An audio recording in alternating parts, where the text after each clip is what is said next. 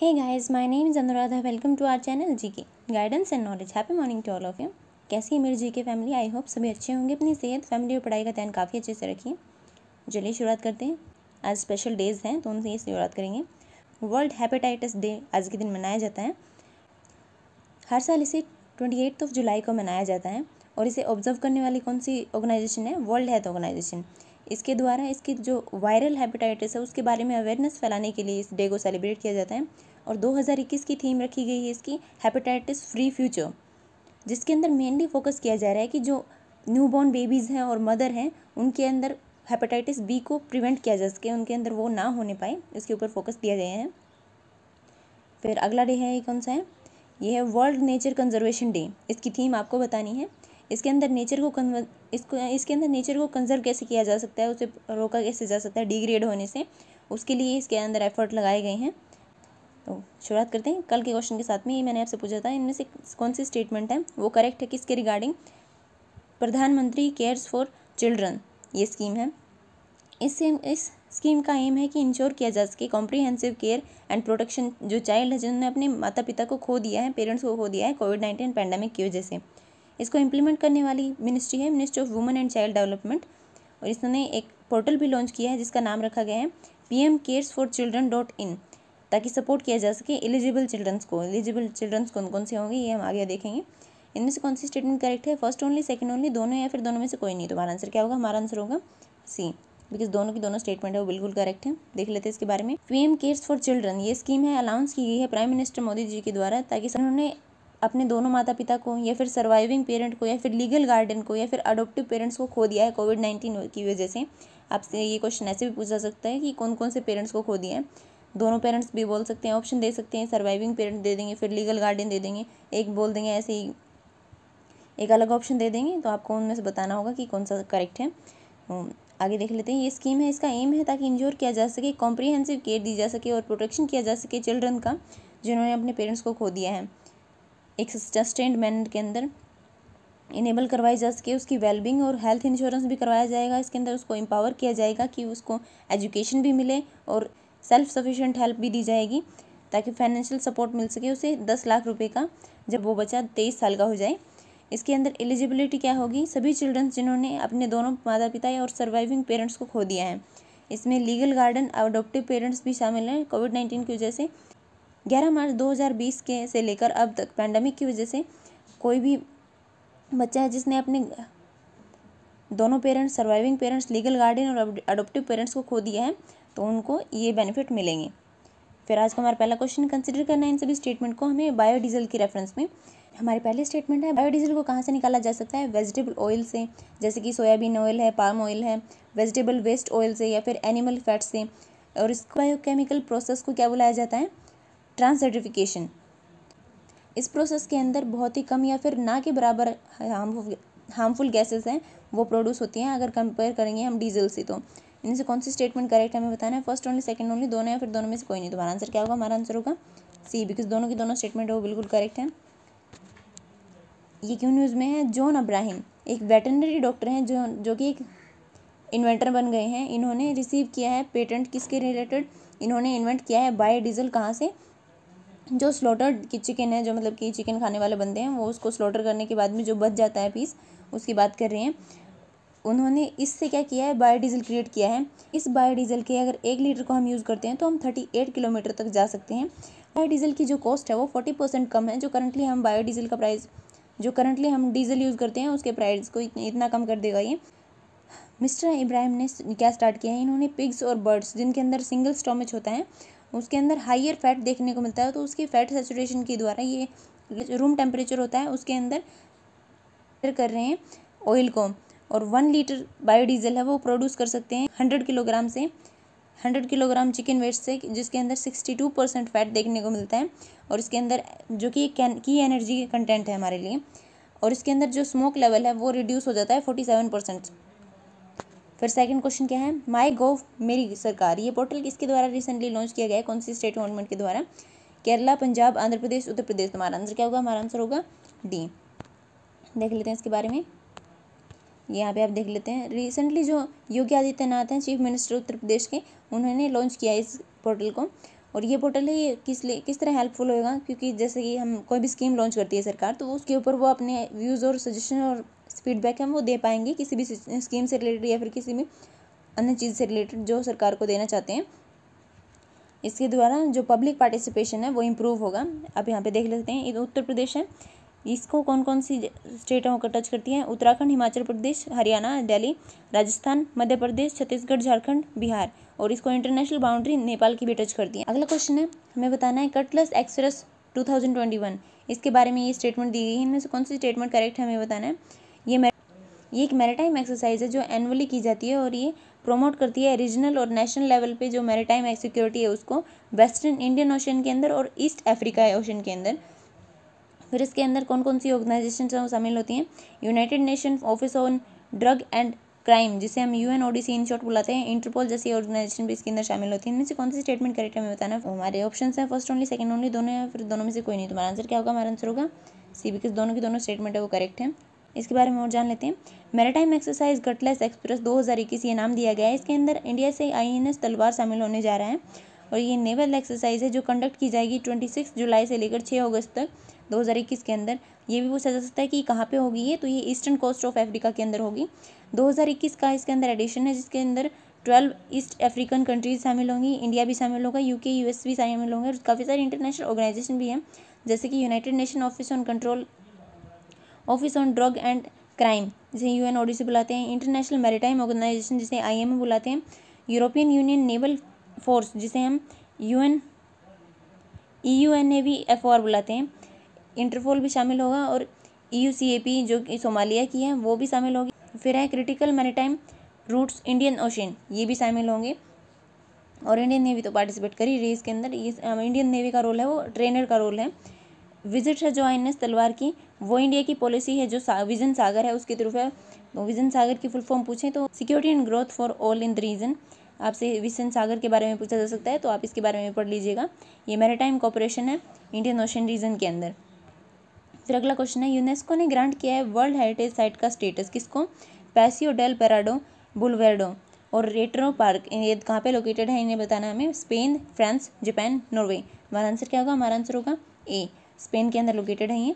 देख लेते हैं, यहाँ पे आप स्पेन की लोकेशन देख सकते हैं। यहाँ पे इसको फ्रांस और पोर्चुगल दोनों ही टच एक तरफ़ इसके मेडिटेरियन सी है और दूसरी तरफ़ एटलांटिक ओशन है। ये भी पूछा सकते हैं। Historic Paseo del Prado boulevard और रेडरो पार्क, ये मैड्रिड के अंदर लोकेटेड है। मैड्रिड स्पेन की कैपिटल है। ये बहुत ही इंपॉर्टेंट साइट है क्योंकि यहाँ पे 125 हेक्टेयर ग्रीन स्पेस देखने को मिलता है। मतलब कि यहाँ पे ग्रीनरी है जो कैपिटल के बीचों बीच कंट्री के बीचों बीच है ये। और ये यहाँ पे ये सबसे ज़्यादा, ये स्पेन के अंदर सबसे ज़्यादा विजिटेड स्पेट्स है मैड्रिड हिस्ट्री के अंदर। अगला क्वेश्चन है इन सभी स्टेटमेंट को कंसिडर करना है हमें। किसके रेफरेंस में गोल्डन राइस के बारे में बताना है? गोल्डन गोल्डन राइस इसका नाम दिया गया है, इसके ब्राइट येलो कलर की वजह से। और ये पहली जेनेटिकली मॉडिफाइड क्रॉप है, जिसे अप्रूव किया गया है कॉमर्शियल प्रोपोगेशन के लिए साउथ और साउथ ईस्ट एशिया के अंदर। इनमें से कौन सी स्टेटमेंट करेक्ट है, हमें बताना है। फ़र्स्ट ओनली सेकंड ओनली दोनों या फिर दोनों में से कोई नहीं तुम्हारा आंसर क्या होगा? हमारा आंसर सी होगा। चलिए इसके बारे में देख लेते हैं। इससे आपके बारे में, आपसे ये क्वेश्चन पूछा जा सकता है कि कौन सी पहली कंट्री है जो वर्ल्ड के अंदर इसे अप्रूव करने वाली बनी है? तो वो है फिलीपींस यहाँ पे इसका कमर्शियल प्रोडक्शन किया जाएगा। ये genetically modified golden rice enrich है न्यूट्रिएंट्स के अंदर, जो कि हेल्प करेंगे हमें चाइल्ड के अंदर जो मेल न्यूट्रिशन देखने को मिलता है, उसको कम करने के लिए। गोल्डन राइस और डेवलप की गई हैं डिपार्टमेंट ऑफ़ एग्रीकल्चर फिलीपींस के। फिलिपिन राइस रिसर्च इंस्टीट्यूट के द्वारा किसके साथ पार्टनरशिप की थी इसने? इंटरनेशनल राइस रिसर्च इंस्टीट्यूट के द्वारा, जिसे आई डब्ल आई बुलाते हैं। इसके इसके अंदर कम से कम भी दो डिकेट्स की मेहनत लगी है। इतना टाइम स्पेंड किया इन्होंने। एक कप गोल्डन राइस है, वो हमें फोर्टी परसेंट जो विटामिन ए है, वो प्रोवाइड करवाता है, जो कि बहुत ज़रूरी होता है छः महीने के बच्चे से लेकर पाँच साल के बच्चे के लिए। और ये कॉम्बैट करता है चाइल्डहुड ब्लाइंडनेस से और सेव करता है लाइफ डेवलपिंग वर्ल्ड के अंदर। फिर अगला क्वेश्चन है, गरीब नवाज़ एम्प्लॉयमेंट स्कीम इसके बारे में बताना है कि किसके द्वारा लॉन्च की गई है? Ministry of tribal affairs ministry of minorities affairs then ministry of labour and employment या फिर मिनिस्ट्री ऑफ़ रेलवेज तो हमारा आंसर क्या होगा? हमारा आंसर होगा बी ये मिनिस्ट्री ऑफ़ माइनॉरिटीज़ के द्वारा लॉन्च की गई है। क्यों? न्यूज़ में रिसेंटली यूनियन मिनिस्टर जो माइनॉरिटी अफेयर्स के हैं, वो कौन है? आपको ये कमेंट सेक्शन के अंदर बताना है। इन्होंने रिप्लाई किया है पार्लियामेंट के अंदर, बताया गया है कि total three seventy one training centres हैं किसके अंदर? गरीब नवाज़ एम्प्लॉयमेंट स्कीम के अंदर, पूरी कंट्री के अंदर। और ये लॉन्च की गई थी माइनॉरिटी अफेयर्स मिनिस्ट्री के द्वारा 2017 के अंदर। मौलाना आज़ाद एजुकेशनल फाउंडेशन ये इसकी ऑटोनोमस बॉडी है, कि इसके अंदर जो मिनिस्ट्री ऑफ़ माइनॉरिटी अफेयर्स के अंदर ये जिसने इस स्कीम को इम्प्लीमेंट किया है के अंदर माइनॉरिटी यूथ्स हैं, उनको short term job skills development course करवाया जाता है, ताकि वो इनेबल कर पाएँ स्किल बेस्ड एम्प्लॉयमेंट फिर अगला क्वेश्चन है कंसिडर करना है इन सभी स्टेटमेंट को, किसके रेफरेंस में यूरोपा क्लीपर मिशन के बारे में बताना है. ये अर्थ का पहला मिशन है जो कंडक्ट करता है डिटेल इन्वेस्टिगेशन वीनस के जो मून है यूरोपा उसके बारे में. ये फ़र्स्ट ज्वाइंट इनिशिएटिव है नासा और यूरोपियन यूनियन एजेंसी का। कौन सी स्टेटमेंट है? वो करेक्ट है हमें बताना? है फ़र्स्ट ओनली सेकंड ओनली दोनों है, फिर दोनों में से कोई नहीं। तो हमारा आंसर क्या होगा? हमारा आंसर होगा डी बिकॉज़ दोनों की दोनों स्टेटमेंट है, वो इनकरेक्ट है। सबसे पहली बात, अगर आपको पता है कि वीनस का कोई मून नहीं है तो आप इजीली समझ सकते हैं कि ये स्टेटमेंट तो इनकरेक्ट है। और दूसरा, ये नासा के साथ में है, लेकिन यूरोपियन यूनियन नहीं है। यहाँ पे एक प्राइवेट एंटिटी है, जिसे स्पेस एक्स बुलाया जाता है। इसके बारे में आप मेरे हिसाब से जानते ही होंगे। ये इलोन मस्क की कंपनी है। यूएस की जो एजेंसी है नासा, उसने सेलेक्ट किया है कैलिफ़ोर्निया बेस स्पेस एक्स को ताकि प्रोवाइड किया जा सके लॉन्च सर्विसेज़ को अर्थ मिशन के अंदर अर्थ के पहले मिशन के अंदर जो कंडक्ट किया जा रहा है। डिटेल इन्वेस्टिगेशन की जाएगी जिसके अंदर जुपिटर के मून यूरोपा के बारे में। यूरोपा क्लिपर मिशन है, ये शेड्यूल किया गया है, ये 2024 के अंदर जाएगा और अक्टूबर 2000 ये अक्टूबर 2024 के अंदर लॉन्च किया जाएगा। आप देख सकते हैं कि आपके पहले से ही तैयार हो रहे हैं 2024 की current affair Falcon Heavy rocket इसके अंदर यूज़ किया जाएगा लॉन्च करने के लिए। कॉम्प्लेक्स थर्टी नाइन ए जो नासा का है, ये कहाँ से लॉन्च किया जाएगा? कैनेडी स्पेस सेंटर से फ्लोरिडा में। ये कंडक्ट करेगा डिटेल सर्वे यूरोपा के बारे में। इसके अंदर इन्वेस्टिगेट किया, इसके अंदर इन्वेस्टिगेट किया जाएगा जो आईसी मून है, उसके बारे में, उसकी कंडीशन के बारे में कि वो सूटेबल है या नहीं लाइफ के लिए। प्रोड्यूस करेगा उसकी हाई रेजोल्यूशन इमेज है, वो भी यूरोपा की पहुंचाई जाएगी। और डिटरमाइन किया जाएगा उसकी कंपोजिशन कैसी है। और ये भी देखा जाएगा कि उसके अंदर रिसेंट या फिर ऑन गोइंग जियोलॉजिकल एक्टिविटीज़ हैं वो कैसी हैं और जो मेजर की जाएगी इसके अंदर जो आईसी शेल है उसकी थिकनेस कितनी है, कितनी मोटी शेल है वहाँ पे। सब सरफेस लेक्स के बारे में भी सर्च किया जाएगा और साथ ही साथ डिटरमाइन की जाएगी इसके अंदर कितनी गहराई है और कितनी सैलिनिटी है यूरोपा के ओशन के अंदर। फिर अगला क्वेश्चन कंसिडर करना है इन सभी स्टेटमेंट को, किसके रिस्पेक्ट में जो मंकी पॉक्स है उसके बारे में बताना है। ये वायरल जेनोटिक डिज़ीज़ है जो कि ट्रांसमिट होती है एनिमल से ह्यूमन के अंदर। इसे आइडेंटिफाई किया गया है पॉक्स लाइक डिज़ीज़ के अंदर, मंकीज़ के अंदर। यहाँ पे कोई भी स्पेसिफिक ट्रीटमेंट या फिर वैक्सीन अवेलेबल नहीं। मंकी पॉक्स इन्फेक्शन के लिए, लेकिन पास्ट में जब एंटी स्मॉल पॉक्स वैक्सीन को यूज़ किया गया तो वो इसके अंदर 85 परसेंट एफिशिएंट मानी गई ताकि प्रिवेंट कर सके वो मंकी पॉक्स को। उनमें से कौन सी स्टेटमेंट करेक्ट है हमें बताना। है फ़र्स्ट ओनली, सेकंड ओनली, दोनों या फिर दोनों में से कोई नहीं। तो हमारा आंसर क्या होगा? हमारा आंसर होगा सी बिकॉज़ दोनों की दोनों स्टेटमेंट वो करेक्ट है। आप यहाँ पे पिक्चर में देख भी सकते हैं कि ऐसे पॉक्स की तरह हो जाते हैं। मंकीज़ के ऊपर भी और ह्यूमन्स के ऊपर भी। रिसेंटली क्या हुआ है? यूएस ने स्टार्ट किया है सर्विलेंस जिसकी वजह से न्यूज़ में आया है कि जो भी नाइजीरिया से ट्रैवल करके जा रहे हैं, उनके अंदर कोई भी इन्फेक्शन नहीं होना चाहिए मंकी पॉक्स का, क्योंकि नाइजीरिया के अंदर मंकी पॉक्स एक एंडेमिक है। कौन कौन से एनिमल्स हैं जो मंकी पॉक्स वायरस के शोर्स हैं? जैसे कि मंकीज़ हैं एपीज़ हैं, और उसके साथ साथ काफ़ी सारे रोडेंट्स हैं, जैसे कि रैट है माइस है स्क्वेरल हैं प्रेटी डॉग्स हैं, और रैबिट्स हैं। इसका आउटब्रेक फ़र्स्ट पहली बार देखने को मिला था 1958 के अंदर मंकीज जो डेमोक्रेटिक रिपब्लिक ऑफ़ कॉन्गो के अंदर और फिर ह्यूमंस के अंदर 1970 के अंदर पाया गया था ये। फिर 2017 के अंदर 40 साल कंप्लीट होने के बाद में जब 40 साल तक कोई भी कंफर्म केस नहीं निकल कर आया, उसके बाद में 2017 के अंदर नाइजीरिया के अंदर इसका लार्जेस्ट आउटब्रेक देखने को मिला था। सब्सिक्वेंटली ये डिज़ीज़ है, वो रिपोर्ट किया गया है मैनी वेस्टर्न और many western central African countries के अंदर। अगला क्वेश्चन है, इनमें से कौन सी सिटी है जो कि पहली ग्रीन स्पेसिफिक इकोनॉमिक जोन बन गई कंट्री के अंदर? इसका, इसके ऑप्शन है, कोची, कंडला, चेन्नई या फिर मुंबई। तुम्हारा आंसर क्या होगा? हमारा आंसर होगा बी इसके बारे में देख लेते हैं। कांडला है, ये कंट्री का पहला ग्रीन स्पेशल इकोनॉमिक जोन बन गया है। ये ओल्डेस्ट एक्सपोर्ट जोन है कंट्री के अंदर क्योंकि पहली ग्रीन इंडस्ट्रियल सिटी बनी है। इंडिया के अंदर रिसीव किया है, इसके अंदर इसे प्लेटिनम रेटिंग दी गई है। आईजीबीसी ग्रीन सिटीज़ रेटिंग के अंदर। जो एक्सटिंग सिटीज़ को दी जाती हैं इंडस्ट्रियल सिटीज़ कैटेगरी के अंदर। अगर हम कंपैरिजन चेक करें तो 2019 के अंदर इसके अंदर 25,000 ट्रीज़ देखे गए थे और 1000 एकड़ के अंदर ओड एकड़ जो इवन और ओड का फॉर्मूला होता है उसके अंदर ओड एकड़ के अंदर 3.5 लाख ट्रीज ट्रीज देखने को मिले हैं और इसके अंदर जो मोस्टली हैं वो 2019 के बाद में लगाए गए हैं मियावा की फॉरेस्टेशन मेथड के अंदर। मियावाकी फॉरेस्टेशन मेथड क्या होता है? इसके अंदर लेयर्स लगाई जाती हैं कि सबसे पहले तो सर्ब लेयर को लगाया जाता है, उसके बाद में सब ट्री लेयर्स को लगाया जाता है, फिर ट्री लेयर को, फिर कैनोपोई लेयर को। आप समझ सकते हैं, सबसे पहले सबसे छोटे पौधे लगाए जाते हैं, उसके बाद में उससे थोड़े बड़े, फिर बड़े, फिर सबसे बड़े लगाए जाते हैं। तो ये बहुत ही अच्छा मेथड होता है तो इसको भी यूज़ किया गया है, और काफ़ी सारी जगह पे यूज़ किया जाना चाहिए। इसके साथ साथ कांडला स्पेशल इकोनॉमिक जोन है, उसके अंदर प्लास्टिक वेस्ट है, उसको भी यूज़ किया जा रहा है ताकि आर्टिफिशियल वाटर बॉडीज़ बनाई जा सकें, ताकि प्रिवेंट किया जा सके वाटर की सीपेज को और ताकि रोका जा सके, ताकि इसके अंदर सलाइन वाटर मिक्स ना हो। फिर अगला क्वेश्चन है, इनमें से कौन सी स्टेटमेंट करेक्ट है? इसके बारे में जो टाइफून इन्फा है, ये बताना हमें। ये एक एक्टिव और बहुत ही बड़ा ट्रॉपिकल साइक्लोन है इनलैंड ओवर चाइना के अंदर। और ये स्टॉम है, इसकी वजह से 2021 के अंदर हेनान फ्लड भी देखने को मिली है।